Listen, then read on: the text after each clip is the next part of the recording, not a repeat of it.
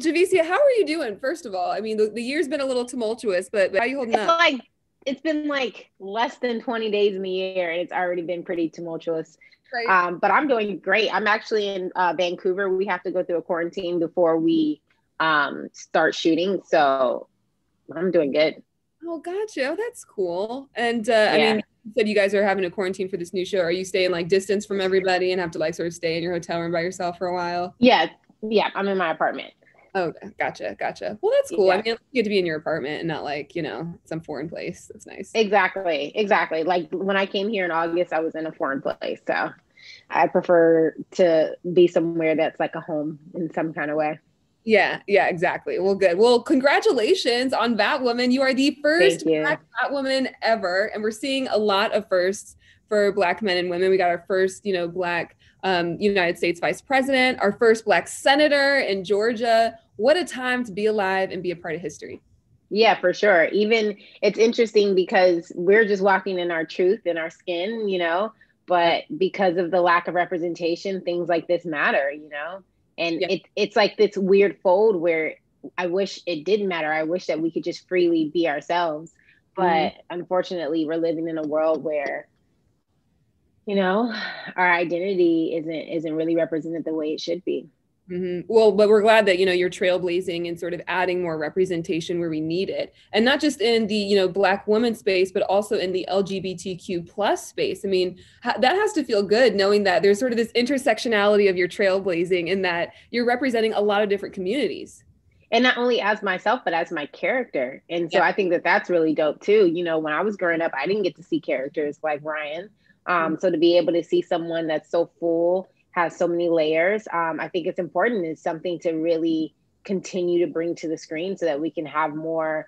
You know, I, I think at the end of the day, we we've always had these individuals. We've always had Black people walking around. We've always had LGBTQ people walking around. So it's not mm-hmm. like this is this is like a population that just showed up uh, out of nowhere. I think that we're moving into a space where we're just showing diversity, and it's really important. Exactly, exactly. Well, and you know, you mentioned not seeing you know people like you on screen. It, it wasn't just you know not seeing um, you know LGBTQ plus people. It was like not seeing LGBTQ plus uh, superheroes. So that is a really cool yeah. part is that you got yeah, like for sure of the top of everything else. Well, tell me, who are some of the women who inspired you along your journey? Um, my mom is one. My mom, is, like when I thought of a superhero growing up, my mother was like my superhero. She um she raised my brother and I by herself. She um, was in the army. You know, she just did so much as a woman by herself that I know that my friends that have both parents in their homes um, d- didn't have to, you know, didn't experience. And I'm just so proud of her. And I've always like, she's been my superhero. Outside of my mom, I always admired artists like Eartha Kitt, whom I've said before, just because, you know, mm-hmm. I think that it's one thing to be an artist, it's another to use your art as activism. And women like Eartha Kitt, women like Nina Simone, Billie Holiday, these were women that were willing to say, no, this is what I stand for. You're not going to take my voice, but mm-hmm. then try to to blind the world to my to my skin color. Like that's not what's, what's about to happen. And I think that we're moving kind of back into that world of like our ideas as as creators, especially creators of color, can get taken sometimes, but no one wants to show like, well, this was the black woman that created it. And mm. so those were the women that kind of inspired me now in my career. Oh, good. I'm glad to hear that. I, and I love that, you know, each of those women had some true authenticity that they brought to, you know, each of their roles and, and oh, for sure. Yeah. Like yeah, I'm well, so excited for the Billie Holiday movie that's coming out. Me and you both. Just I'm excited for the obviously the story too, but the costumes is, is, is yes. Really, uh, well, and then obviously Andra Day, like her voice, ooh. right? Huh, yes. It's gonna be amazing. Um, yes. But speaking of costumes, tell me about your suit. What was the? Tell me about the first time you put on that suit and uh, um, and oh. The first time I put the suit on um, was actually when we were just testing the suit, and I remember when I put the suit on, I I look down, I see this bat across my chest, and I'm like, oh my goodness, like chills. This is this is really this is real like this is happening mm-hmm. so i kind of freaked out and you you always get this like moment of feeling like the responsibility of being a superhero you are a superhero in this moment even as Javicia now go save the world Um, but then I did the cowl separately. Like I tried the cowl on at a different time, and we were actually doing a fitting. And like, let's say this is the the mirror. I I put the cowl on, and I was turned this way because I didn't want to see it until it was completely on. And I turned back around. I looked at myself in the mirror, and I just started laughing because it was just like, without the cowl, it looks just like Batman. I mean, without the wig, it looks just like Batman. So I look in the mirror and like, dang, like this is like I'm a part of the Bat family. Like mm-hmm. this is so dope. I just yeah. couldn't stop smiling. Yeah, absolutely. And speaking of the hair, uh, I saw a photo of you in the costume with like this huge curly natural fro, and it made me so excited. Obviously, because I have natural hair, but also because I think that you know part of being a black woman is like you we have a, a variety of different hair textures, and it was so cool to see that. It was like honestly, it was really scary, only because you know, as a black woman, um, when you wear your hair natural and big, you feel like you're taking up space. And mm-hmm. When we're younger, that's the scariest thing is to take up space, is to is to steal attention because we just want to blend in, you know. Um, and even as a grown woman, a lot of us are scared to take up space. And mm-hmm. so naturally, Ryan's Batwoman takes up space with her hair. You know, naturally, you have to widen the shot a little bit. Naturally, you have to leave room for the hair. And um, at first, it it it it, it felt like am, is this too much? But then it's like, no, this is a representation of a black woman that's a superhero. And why is it ever too much? Like we have super female superheroes all the time with their hair long and straight. And the idea that, you know, if they're fighting, their hair can still get grabbed, you know? So we got to take that idea out of the out of the mix because when you're a superhero, your hair just does not get grabbed. It never gets touched. It's perfect. Um, so what's the difference between long straight hair and a big curly afro? It's all hair that's out that could get grabbed. And it's just it doesn't happen. The, I think the bad guys know. They're like, one thing I'm not gonna do is touch a black woman's hair. So I'll fight exactly. her. I'll do everything. I, will even try to kill her, but I will not touch her hair. For the cardinal rules of, of it is a cardinal rule. yeah, I love it. Um, oh my god, that's all. and did you help to design your your own costume? So what the what the what that is about is that um, Caroline Dries, our amazing show creator, we we were talking before um, we started to film, and she just said that she wanted a new suit for Ryan, and we were kind of like trying to think of ideas, and we were really actually inspired by um, fan art. So we had gotten all of this fan art after the casting announcement, and because my hair is in this big, it's kind of like how yours is now. It was in this big curly like fro. Uh, mine was just like big though. This big curly fro in the picture. All of the fan art included that big curly fro. So that's what really gave us the idea that our Batwoman would have that look. it's so- and it's actually the same that the the wig maker for um for Batwoman was the same lady that did the hair for that picture. So yeah. it was like, yeah, isn't that cool? So it was it's just like so we had right, right. So we had like um that that we were inspired by fan art. And so even the suit itself has a little bit of a fan art inspiration and then our show creator caroline and our our lead costume designer maya mani came together and created the, the actual suit oh my god that is so cool but that's awesome like hey fans you helped to create this awesome they, I, I hope they know that they really did yeah, they need to. That's, that's incredible. I saw a video of you working out. Have you always been super fit or did you like turn it up for this role? Did you have any like action sort of uh, training or anything that you went into before before uh, assuming the role? The thing is, is like working out fitness in general has always kind of been like an outlet for me. I ran mm-hmm. track growing up. And then when I moved to LA and, you know, your career is kind of like, oh, okay, what's going on? You know, that was like my outlet. That was my release. So I've been working out forever. Um, I started martial arts two years ago.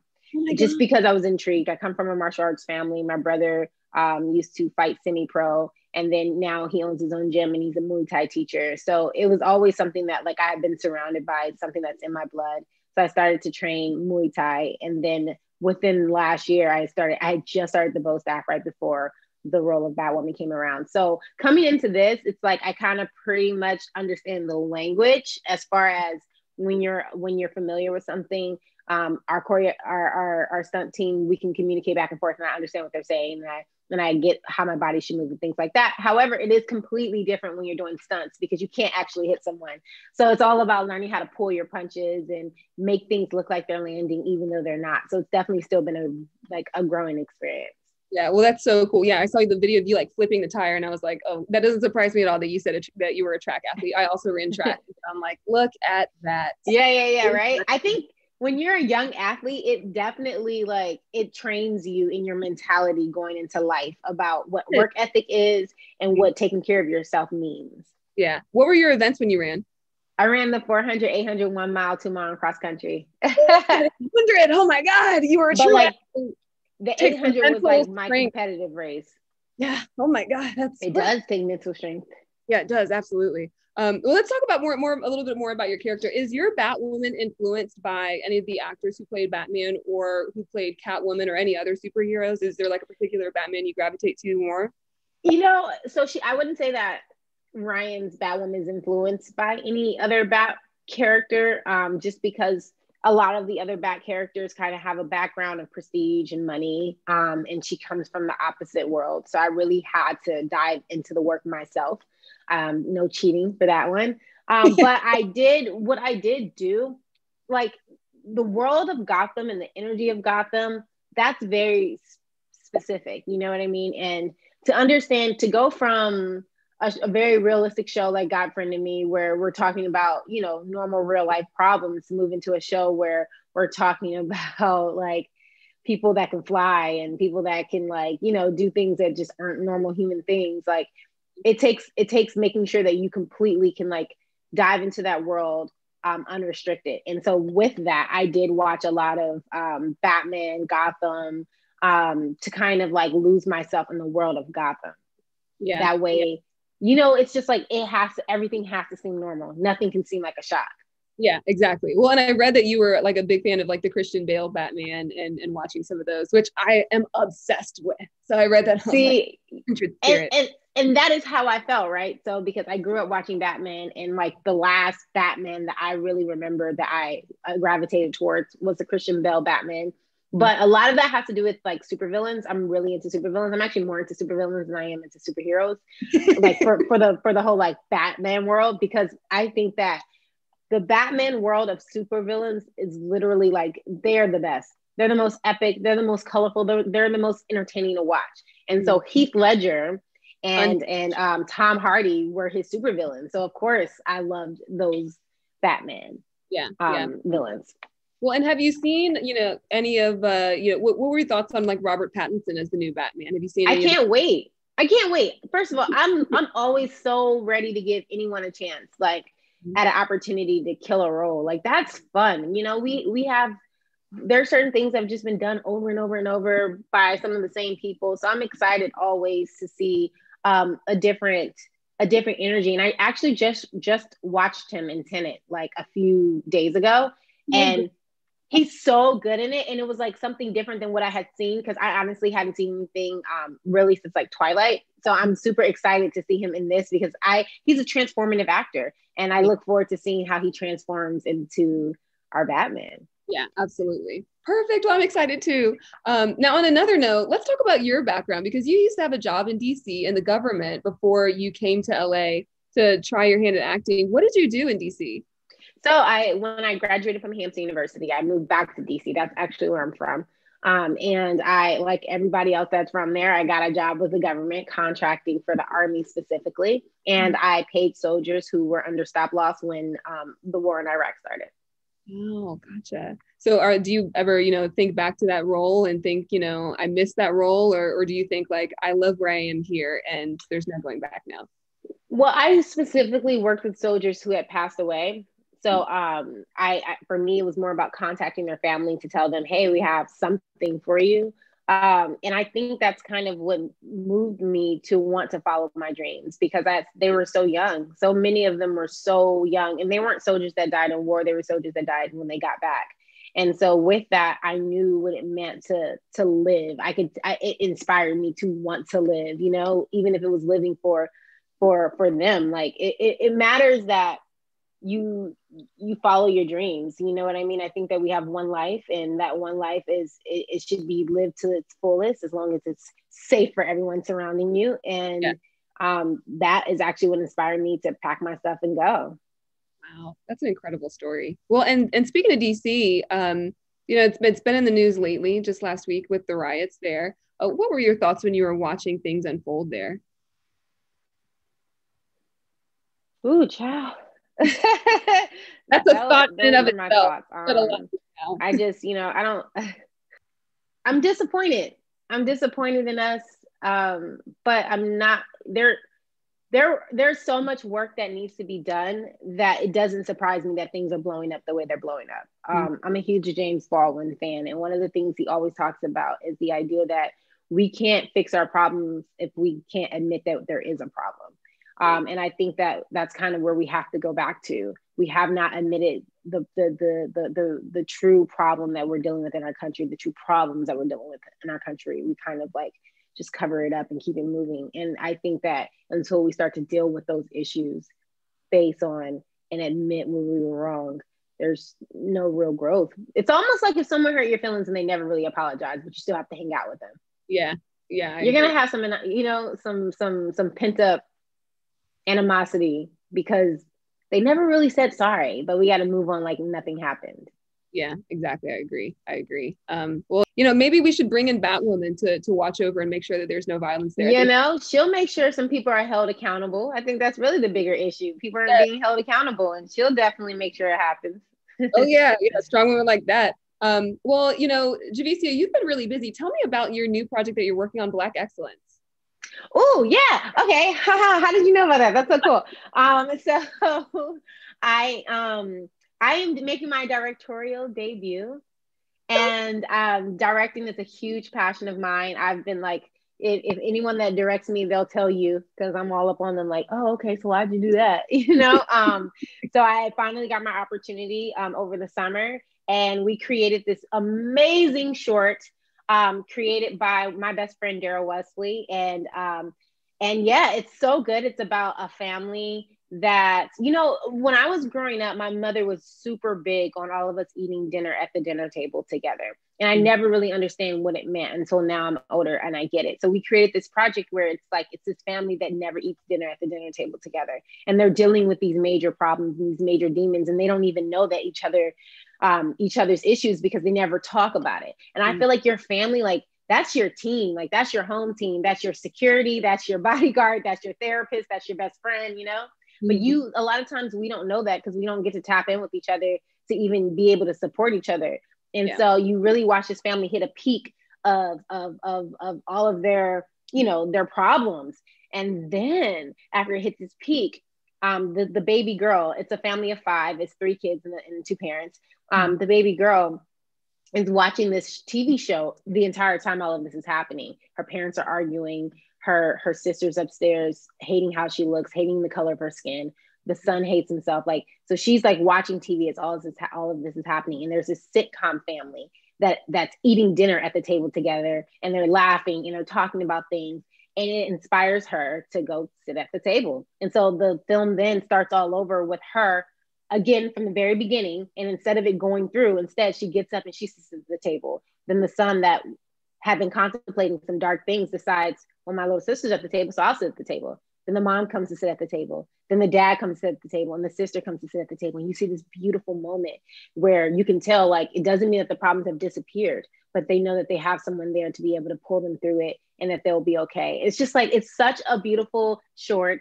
All of like all of my loved ones are a part of it. You know, the cast members are people that I care about so deeply my best friend is the writer. I'm directing it. So it's just like this amazing passion project. And it comes out February 14th. It will be streaming, and I'm going to drop the link on my Instagram.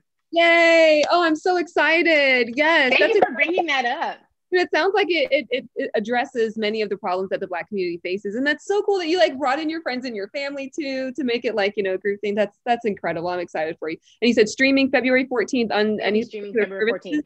So yeah, I'm gonna drop the link on my Twitter, my Instagram. So anyone that's watching this, just go check those out, and you'll be able to find the link. Um, we're also gonna drop the trailer probably tomorrow, either today or tomorrow. So this is really, really exciting. I'm like, I'm, I'm so excited for everyone to see it. And it's not just facing Black families. Yeah, this is per, this is specifically a Black family, but I think it's facing families. I think another issue in our world, in our country, is that we, especially now with the pandemic happening, we can't even get to our families.